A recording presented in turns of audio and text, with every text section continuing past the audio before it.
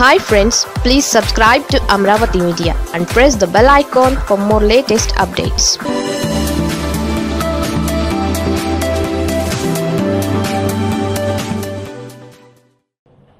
నిన్న జై భీమ్ అని కొంతమంది వ్యక్తులు దళితులు అని చెప్పుకునే వ్యక్తులు ఒక రౌండ్ టేబుల్ సమావేశం ఏర్పాటు చేశారు.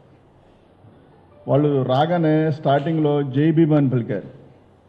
జేబీఎం కంటే కూడా వాళ్ళు జై చంద్రబాబు అని చెప్పి మీటింగ్ పెడితే బాగుండేది. ఎందుకంటే స్క్రిప్ట్ అంతా కూడా చంద్రబాబు నాయుడు డైరెక్షన్లో నడిచారు. మన వాళ్ళు ఇంకేమన్నా సొల్యూషన్లు ఏమన్నా ఉన్నాయేమో ఏమన్నా ఇబ్బందులు ఉన్నాయేమో ఏమన్నా చెప్తారేమో దళిత జాతికి ఉపయోగపడే విషయాలు ఏమైనా మాట్లాడతారేమో అని చూసాం. తీరా చూస్తే చంద్రబాబు భజన బృందం ఏర్పాటు చేసుకున్న కార్యక్రమం లాగా ఉందే తప్ప అది నిజంగా దళితులకు మేలు చేసే కాన్సెప్ట్ అయితే కాదు. ఇదే శ్రావణ్ కుమార్ కానీ ఇదే హర్ష్ కుమార్ కానీ గతంలో టీడీపీ నాయకులు చేసిన దారుణాలపైన ఏ ఒక్క రోజు స్పందించలేదు. ఆ రోజు వీళ్ళంతా ఎక్కడికి వెళ్ళారు? వీళ్ళంతా కూడా ఎక్కడ దాక్కున్నారు? ఆ రోజు చంద్రబాబు నాయుడు గారి డైరెక్షన్లోనే వీళ్ళు కూడా దళితులపైన దాడి చేస్తే చాలే మనకు కూడా మంచిదైన కాన్సెప్ట్లు ఏమైనా ఉన్నా ఉన్నారా? లేకపోతే ఆ రోజున ఎందుకు క్వశ్చన్ చేయలేదు? మీకు నిజంగా దళితులు మేము దళితులపైన మాకు ప్రేమ ఉంది అని అనుకున్న వ్యక్తులైతే ఒక్కొక్క వ్యక్తి మాట్లాడిన మాటలు. మంత్రి ఆదినారాయణ. ఆదినారాయణ రెడ్డి గారు ఏం మాట్లాడారంటే శుభ్రంగా ఉంటూ స్నానం చేయరు అని. చింతమనేని ప్రభాకర్ అయితే మీకెందుకురా రాజకీయాలు? పదవుల హోదాలు మావి. మేము చేస్తాం మీరు చూస్తా ఉన్నానని చెప్పిన వ్యక్తి. ఇక వీళ్ళిద్దరు గురువు చంద్రబాబు నాయుడు గారు మీ అందరికి తెలిసిన విషయమే. ఇది పదే పదే చెప్పాలని అవసరం కూడా లేదు. ఏమన్నారంటే దళితులు ఎవరు పుట్టాలని కోరుకుంటారా? అందరూ అగ్రవర్ణాల్లోనే పుట్టాలని కోరుకుంటారన్నారు. ఈ వ్యక్తులు జగన్మోహన్ రెడ్డి గారు కాసేపు దళితులకు న్యాయం చేస్తున్నారని కాసేపు మరి అగ్రవర్ణాలకు మేలు చేస్తున్నారు దళితులు మర్చిపోయారని. అదేవిధంగా మతాల మధ్య కులాల మధ్య సిచ్చు పెడడానికి చంద్రబాబు నాయుడు గారు ఒక టార్గెట్ చేసుకున్నారు. ప్రతిపక్షంగా ఫెయిల్ అయిన ఏ ఈ వ్యక్తి ఏదో రకంగా రభస గొడవలు పెట్టి ఎక్కడో చోట డిస్టర్బ్ చేయాలనేది చంద్రబాబు నాయుడు గారి టార్గెట్.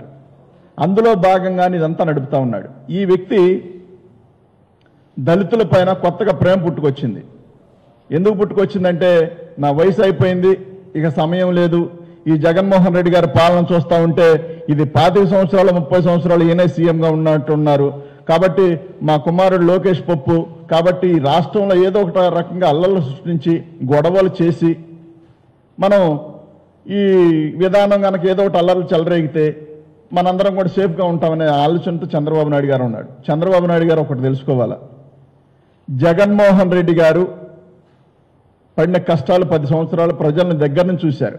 ఆయన పడిన కష్టాలు పక్కన పెట్టి రాష్ట్ర ప్రజలు పడిన కష్టాలు చూసి ఎలాగనైనా వీళ్ళని ఆదుకోవాలి ఎలాగనైనా నేను నా వంతు నేను అండగా ఉండాలని చెప్పి ఒక యాగం చేసి సీఎం అయ్యారు. నీకులాగా అడ్రూట్లో ఎన్ని పోట్లు పొడిచి వాళ్ళని తొక్కుంటా ఎదురు మాట్లాడిన లేపేసుకుంటా జగన్మోహన్ రెడ్డి గారు రాజకీయాలు చేయలేదు.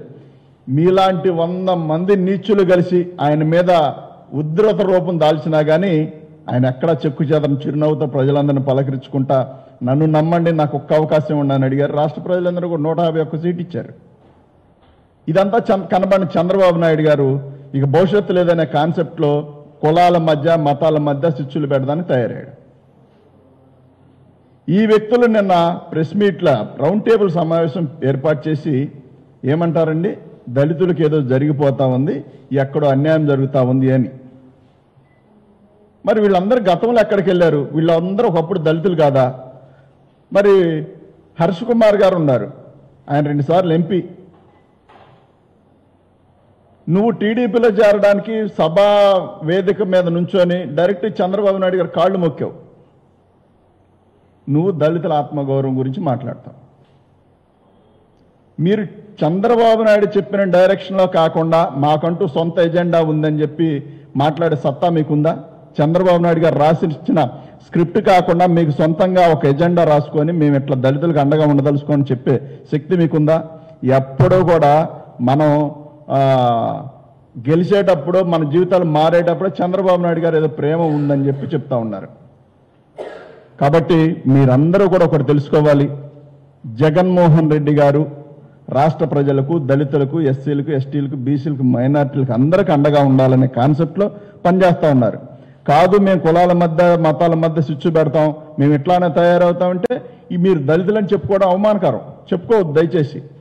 మీరు నిజంగా దళితుల మేరు కోరుకునే వ్యక్తులు అయి ఉంటే ఇదే చంద్రబాబు నాయుడిని చీకొట్టి ప్రజలు ఎదరకొచ్చి ఏమైనా సమస్యలు ఉంటే జగన్మోహన్ రెడ్డి గారి దృష్టికి మీరు తీసుకురావాలి. అది కాకుండా మీ సొంత ప్రయోజనాల కోసం చంద్రబాబు నాయుడు గారు ఏదో ఆయన ఇచ్చే అవకాశాల కోసం మీరు ఎదురు చూడొద్దు. కాబట్టి మీరందరూ కూడా ఒకసారి గమనించండి. ఈ రాష్ట్రంలో ఉన్న దళితులందరినీ కూడా ఒక్కసారి ఆలోచించమని చెప్తా ఉన్నాను. మన పిల్లలు ఇంగ్లీష్ మీడియం చదువుకుంటే చంద్రబాబు నాయుడు గారికి నష్టం. మన పిల్లలు మరి నాడు నేడు కార్యక్రమం మంచి స్కూల్లో ఉంటే చంద్రబాబు నాయుడు గారికి నష్టం. అదేవిధంగా ముప్పై లక్షల మందికి ఇళ్ళు ప్లాట్లు ఇస్తా ఉంటే వాళ్ళ కు- వాళ్ళ కుటుంబాలు మంచి ఇంట్లో వాళ్ళు ఉండకూడదు. వాళ్ళ సొంత గృహం ఉండకూడదు వాళ్ళకి. ఉంటే మన అల్లింగారు లేకపోతే వాళ్ళ పనాలు చేసుకుంటారు మన దగ్గర బానిసలుగా ఉండరు అనే వ్యక్తి చంద్రబాబు నాయుడు గారు. ఇవన్నీ కూడా అడ్డుకుంటూ చంద్రబాబు నాయుడు గారు ఇళ్ళు అన్ని అడ్డుకుంటా కూడా ఇంకొకటి ఏమేస్తారు తెలుసా? డీకే పట్టాలు మాత్రం ఇవ్వాలి వాళ్ళకి ఇళ్ళ ప్లాట్లు రిజిస్ట్రేషన్ చేయడానికి లేదు. ఏ వచ్చిన నష్టమేముంది రాష్ట్ర ప్రజలందరూ కూడా దళితులు కానీ ఎస్టీలు కానీ బీసీలు కానీ వీళ్ళందరూ కూడా సొంత ఇల్లు ఉంటుంది తప్ప సొంత ఇంట్లో ఉండాలనుకోవడం తప్ప ఆ ఇల్లు వాళ్ళ పేరు మీద ఉండాలి రిజిస్ట్రేషన్ ఉండాలనుకోవడం తప్ప ఇలాంటి చంద్రబాబు నాయుడుగా మీరు కొమ్ము కాస్తా ఉంది. ఇలాంటి నీచమైన వ్యక్తిగా మీరు కొమ్ము కాస్తా ఉంది. ఒకసారి క్వశ్చన్ ఆన్సర్ చేసి మీరందరూ కూడా కూర్చొని ప్రశాంతంగా మనం ఏం చేస్తున్నాం? మనం ఎందుకు ఇదంతా చేస్తానన్న అని ఆలోచించుకోవాలని పరిస్థితి ఉంది. జగన్మోహన్ రెడ్డి గారి పద వ్యామోహం ఇంకో వ్యామోహం లేదు చంద్రబాబు నాయుడు గారికి లాగా. ఉంటే ఆ రోజు కాంగ్రెస్తోనే మాట్లాడేసుకొని కాంగ్రెస్తోనే ఏ మినిస్టర్ అయ్యి తర్వాత సీఎం చేస్తారనే ఆలోచన ఉండేవారు. కాదు ఒక మాట ఇచ్చాను ఆ మాట కోసం కట్టుబడ్డాను ఆ మాట కోసం నేను పని చేయాలి కాబట్టి ఏది ఎన్ని కష్టాలను ఎదుర్కొంటానని చెప్పి చిరునవ్వుతో ఎదుర్కొస్తే ఈ అడ్డ రూట్లో వెళ్ళే వ్యక్తి మీ దళితులు మన దళితులందరూ కూడా మీరెళ్ళి కొంతమంది ఆయన కొమ్ము కాసి ఎక్కడో అన్యాయం జరిగిపోతా ఉందని మాట్లాడడం చాలా ఆశాస్పదంగా ఉంది. కాబట్టి ఇకనైనా అలాంటి కుళ్ళు మనసు కుట్ర మనసు మానుకోండి. మానుకొని ఇకనైనా చంద్రబాబు నాయుడు గారికి అడగండి. మీరు దగ్గరుండి బాబు ఇళ్ళ ప్లాట్లు అడ్డుకోవడం తప్పు కదా. వాళ్ళు సొంత ఇంట్లో ఉండడం మంచిదే కదా. ఇంగ్లీష్ మీడియం చదువుకోవడం మంచిదే కదా. నాడు నేడు స్కూళ్ళు అలాంటి స్కూళ్ళు ఉండటం మంచిదే కదా. అమ్మఒడి ఇవన్నీ కూడా దళితులకు అండగా ఉండే ప్రోగ్రాం చేస్తా ఉన్నాడు జగన్మోహన్ రెడ్డి గారు. కాబట్టి మీరు వీటిని చెడగొట్టబాకండి. వాళ్ళు తినే గుప్పిడి అన్నంలో ఇసుకే ఇవ్వకండి అని చెప్పి మీరు చెప్పాల్సింది పోయి మీరు కూడా చంద్రబాబు నాయుడు గారికి తొత్తులుగా మారి ఆయన భజ బృందం లాగా నన్ను విజయవాడలో ఏర్పాటు చేసి మాట్లాడుతూ ఉండడం అంటే చాలా అవమానకరంగా అనిపిస్తూ ఉంది. మీరు కూడా మన మరి దళిత జాతులను కానివ్వండి మిగతా వాళ్ళని కానీ బాగుపడిరేమో ఈ రాష్ట్రం బాగుంటే ఇష్టం ఉండదేమో. ఊరు ప్రశాంతంగా ఉంటే అన్నవరగత సుమ్మి అన్నట్టుగా తయారయ్యాడు చంద్రబాబు నాయుడు గారు. అలాంటి వ్యక్తి గురించి మీరందరూ కూడా వత్తాసు పలికి ఇవాళ జగన్మోహన్ రెడ్డి గారు ఆయాం లేదు. జరుగుతూ ఉంది అన్యాయాలు జరుగుతూ ఉన్నాయి మోసాలు జరుగుతూ ఉన్నాయి దళితులకి ఏదో ఎక్కడేదో జరుగుతూ ఉందని ఏదో గలిబిలు చేస్తా ఉన్నారు. కానీ ఒక్క మాట చెప్తున్నాను పైనున్న దేవుడు గొప్పోడు. జగన్మోహన్ రెడ్డి గారు ఎప్పుడు ఆ మాట చెప్తున్నారు. కాబట్టి ఎదురుగా ఉన్న నా ప్రజలు గొప్పోళ్ళు వాళ్ళు ఇస్తారు నాకు అవకాశం అని చెప్పి జగన్మోహన్ రెడ్డి గారు ఎదరబోతా ఉంటే చంద్రబాబు నాయుడు గారు మాత్రం కులాల మధ్య స్విచ్ పెట్టాలి మతాల మధ్య స్విచ్ పెట్టాలి ఎక్కడో చోట అల్లర్లు చేయాలి ఏదో జరిగిపోతా ఉందనే భ్రమలో బతుకుతా. ఇప్పటి వరకు ఇప్పటి వరకు ఏపీకి వచ్చి ఒరిజినల్గా జూమ్ యాప్లో తప్ప బయటకు వచ్చి మాట్లాడలేని సత్తా లేని నాయకుడు చంద్రబాబు నాయుడు గారు. అవకాశం అడ్డదారిలో వస్తే అందరం ఎక్కి కూర్చుంటానికి సిద్ధపడతాడే తప్ప కష్టపడి ప్రజలకు ఏం కావాలి వాళ్ళకి ఏమి అవసరాలు ఉన్నాయి తీర్చే దాంట్లో ఎక్కడ ముందుకు రాడు. అదేవిధంగా లోకేష్ బాబు మంగళగిరి దెబ్బ కంగు తిని తండ్రితో పాడిపోయి తను కూడా అక్కడే ఉంటున్నాడు. వీళ్ళ రాష్ట్ర నాయకులు వీళ్ళ రాష్ట్రాన్ని పాలించేది వీళ్ళ రేపు సీఎం అవ్వాలని కోరుకునేది ఇలాంటి వ్యక్తులా? మీరందరూ కూడా ఒకసారి ఆలోచించాలి. దళితులు కానీ ఎస్సీలు కానీ బీసీలు కానీ అందరూ సంతోషంగా ఉన్నారు ఈ రాష్ట్రంలో. బాగున్నారు. దయచేసి వాళ్ళకి మేలు చేసే కార్యక్రమాలు అడ్డుపడకుండా చంద్రబాబు నాయుడు గారు ఒకసారి ఆ భగవంతుడు మంచి బుద్ధి ప్రసాదించాలని చాలాసార్లు అడిగాను. మరి ఎప్పుడు ప్రసాదించాడో అర్థం కాని పరిస్థితిలో ఉంది. కాబట్టి ఇప్పటికైనా వాళ్ళకి ఇచ్చే ఇళ్ళ ప్లాట్లు కానివ్వండి వాళ్ళు నాడు నేడు కానివ్వండి ఏదన్నా కానీ ఇంగ్లీష్ మీడియం చదువుకునే దానికని అవకాశం కల్పించండి. శ్రీ చైతన్య నారాయణ కాలేజీలకు అవకాశాలు కల్పించే విధంగా కాకుండా వాళ్ళకి మేలు జరిగే విధంగా కాకుండా రియల్ ఎస్టేట్ అంటే లింగమనేల వాళ్ళకి మేలు జరిగే విధంగా కాకుండా నీ తుత్తులకు మేలు జరిగే విధంగా కాకుండా దయచేసి రాజధాని విషయం కానివ్వండి మరి పేదోళ్ళు జరిగే కార్యక్రమాలు కానీ అందరూ కూడా రాష్ట్ర ప్రజలందరికీ కూడా ఉపయోగపడే విధంగా ఉండాలని చెప్పి మేము అందరం కూడా కోరుకుంటా ఉన్నాం. అదే విధంగా మీరు కూడా కోరుకోవాలి తప్ప మీరు ఏదో చంద్రబాబు నాయుడు గారు మనకి ఏదో చెప్పేశాడు అది జరిగింది ఇది జరిగిందని చెప్తా ఉన్నారు. రాష్ట్ర ప్రజలందరూ కూడా ఒక్క ఒక్క ఒక్క నమ్మకమే ఏర్పరచుకున్నారు. జగన్మోహన్ రెడ్డి గారు మన జీవితాలను మారుస్తారు. ఇలాంటి ప్రభుత్వం రావడం మనకు అదృష్టం. వీళ్ళందరూ ఎన్నుకున్న ప్రభుత్వం. రాష్ట్ర ప్రజలందరూ కలిసి ఎన్నుకున్న ప్రభుత్వం ఇది. చంద్రబాబు నాయుడు గారి అడ్రూట్లు లాక్కున్నది ఇది. కాదు కదా? కాబట్టి రాష్ట్ర ప్రజలు చూస్తా ఉన్నారు. రాష్ట్ర ప్రజలకు ఏం కావాలో ఏం జరగాలో ఈ జగన్మోహన్ రెడ్డి గారిని ఎన్ని సంవత్సరాలు సీఎంగా ఉంచుకోవాలో వాళ్ళకి తెలుసు. కాబట్టి చంద్రబాబు నాయుడు గారి కొట్టలు కుళ్ళు ఇవన్నీ పనిచేయవు. కాబట్టి రానున్న రోజుల్లో ఇకనైనా దళిత మేధావులు అని చెప్పుకునే వ్యక్తులు దయచేసి చంద్రబాబు నాయుడు గారు కుమ్ము కాయడం మానండి దళిత జాతి మేలు కోసం మీరు గన కష్టపడేవాళ్ళైతే చంద్రబాబు నాయుడిని బాబు నువ్వు ఎక్కడ ఇళ్ళ ప్లాట్లు అడ్డుకోవద్దు. బాబు వాళ్ళు ఇంగ్లీష్ మీడియం వద్దు అడ్డుకోవద్దని చెప్పనండి. లేదంటే వీళ్ళందరూ ఆగమయ్యే దాంట్లో మీరు కూడా భాగస్వాములు కానీ చరిత్రహీనుల కింద మిగిలిపోతారు. అందులో ఎటువంటి డౌట్ లేదు. చెప్తున్నాను నేను. చరిత్రహీనుల కింద. చాలామంది భూగర్భంలో కలిసిపోయిన ఎంతమంది ఉన్నారు. అలాంటి లిస్టులో మీరు కూడా అవ్వకుండా మరి ఈ రాష్ట్రం అంతా ఒక్కసారి మీరు గుర్తుపెట్టుకోవాల్సింది ఏంటంటే కుళ్ళు కుట్ర మోసం వెన్నుపోటు అంటే ఎవరి పేరు చెప్తారా? ఎవరి పేరు చెప్తారు? చంద్రబాబు నాయుడు గారి పేరు తప్ప ఇంకోటి ఏమైనా ఉందా? వెన్నుపోటు అని గూగుల్ సెర్చ్ కొడితే చంద్రబాబు నాయుడు పేరు వచ్చింది. ఇంకెవరి పేరు రాదు. రావడానికి కూడా ఛాన్స్ లేదు. పప్పు అని కొడితే వాళ్ళ కొడుకు పేరు వస్తూ ఉంది. కాలాంటి ఇట్లాంటి వ్యక్తులను నమ్ముకొని మీ స్వలాభాల కోసం పనిచేయొద్దు రాష్ట్ర ప్రజలందరూ కూడా సంతోషంగా ఉన్నారు. కాబట్టి మీరందరూ కూడా ఒకటి గమనించాలి. సీరియస్గా చెప్తున్నాను.